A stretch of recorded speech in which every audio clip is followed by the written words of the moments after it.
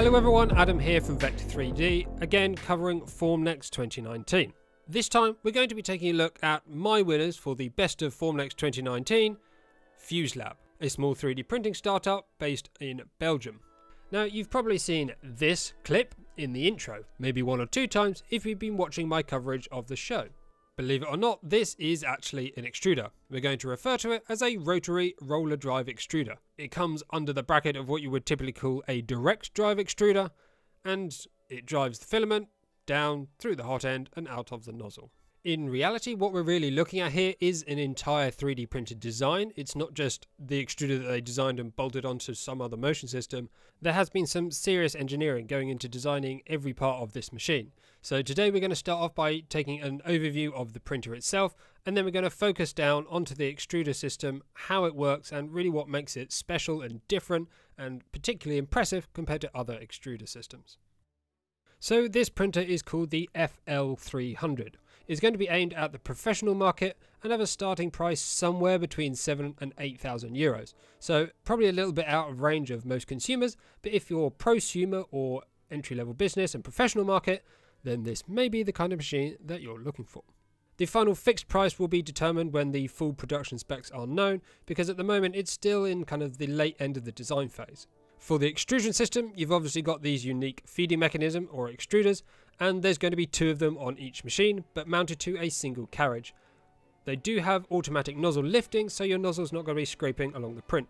The filament that you're actually currently printing from can be fitted in the hermetically sealed filament drawer, which is just below the kind of main body of the printer, and that fits up to two 1 kilogram spools. Although the drawer only fits up to 1 kilogram spools, if you want to print from a 5 or 10 kilogram spool, you can just feed it in externally, so you don't have to use that drawer if your spools don't fit or it's not suitable for whatever filament you're printing.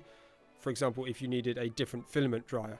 They're also supporting an open filament system, so there's no proprietary filaments and cartridges, for example, that you have to use. You can just get any filament you want from anywhere, and this machine will just be able to run it through. In terms of the maximum temperatures and stuff like that, the actual design of the hot end, as far as I can tell, is not fully finalized yet. They're currently using E3D just because they know that that kind of stuff works, but I think they're looking at designing their own proprietary stuff that's maybe either more capable or more cost effective for them to be able to implement into their machine. The printing volume is fully enclosed and is passively heated by the heated bed and it goes up to around 50 degrees Celsius. There's also an integrated HEPA and activated carbon filter to assist in filtering out any pollutants, particles, fumes, etc. that are generated by the melting of the plastic. The bed, as I just mentioned, is heated and also has a flexible and removable build plate on the top. So, for example, like the Prusa Mark III that everyone I'm sure is familiar with, where you can just take it off, flex it to remove the print, and then place it back on the bed. The actual build platform itself is mounted to the printer via a kinematic coupling, which means any expansion in the material, which will happen when you heat it, doesn't result in any warping of the bed. And lastly, the control board used is the Duet 3 by Duet 3D. I think it's really great to see a Duet 3D board integrated into an industrial machine. So of course, by implementing the Duet 3, you get all the benefits that come with that, such as the 32-bit ARM Cortex M7 processor, uh, a high-speed bus to a single board computer such as Raspberry Pi, which I don't know is integrated, not sure yet. Six high-capacity Trinamic 5160 stepper drivers with 256 micro-stepping, StallGuard, stealth chop, etc, etc, etc. All the features of the Duet 3 you should be able to find on this printer. The only reason you might not see them on marketing is because if they're not adding value to this machine, they may not be fully implemented, but given that that control board is there, you can probably add them if you want to. And now we get to the bit that we've all been waiting for. This absolutely crazy looking extruder. Right, let's get stuck into it. So of course, the main innovation on the FL300 is the novel and innovative extruding mechanism that has been invented by FuseLab. Where a traditional pinch wheel feeding mechanism only has one or two points of contact, the FuseLab feeder has three nearly vertical rolls that contact the filament over their entire length. In the current version of the design, there are 20 teeth per roller that are in contact with the filament, resulting in 60 small points of contact. The penetration depth of the geometry of the teeth are the result of months of testing, simulation, and optimization. The final design results in a feeding mechanism that can generate very high extrusion forces if necessary, and almost no deformation to the filament when fed through the system. On top of that, the grooves formed in the filament are axisymmetric, meaning they don't have any effect on the flow when the filament leaves the nozzle.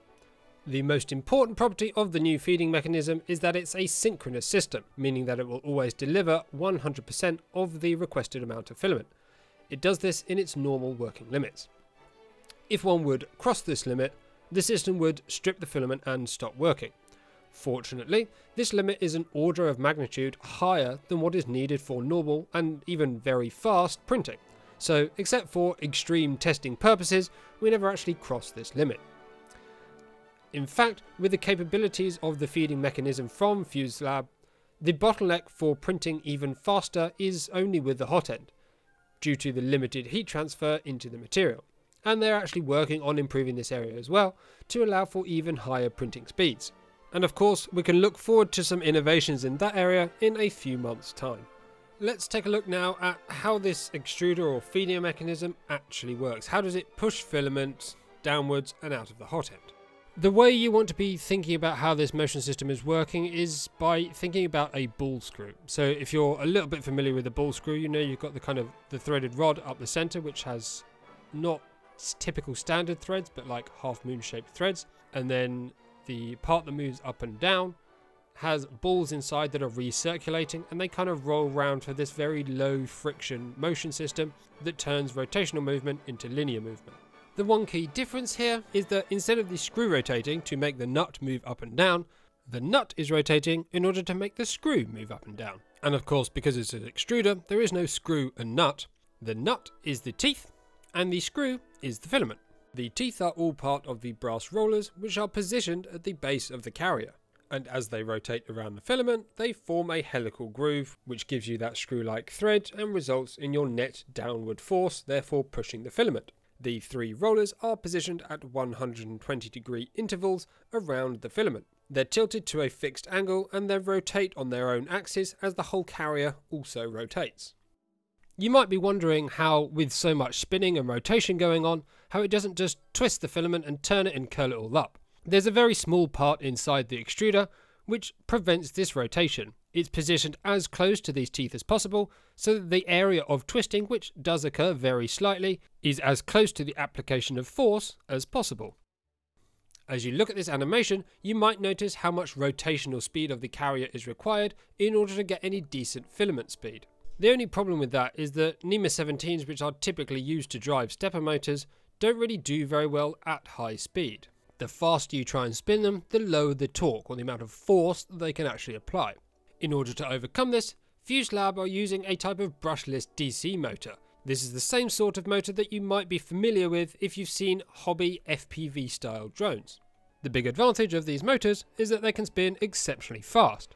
However, they're missing one key feature. There's no way to index the position, there's no way to know what point in the rotation it's at in order to control the amount of rotation that you're getting and therefore controlling the filament output. The solution to that is to add a rotary encoder.